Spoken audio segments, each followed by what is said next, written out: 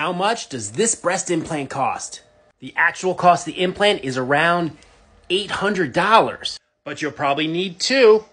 That's just the cost of the implants, not the cost of the surgery to put those implants in. So the total cost is going to include the cost of the anesthesia, the operating room, the surgeon's fee, the materials, and the cost of those implants. On average, it can be anywhere between six to ten thousand dollars.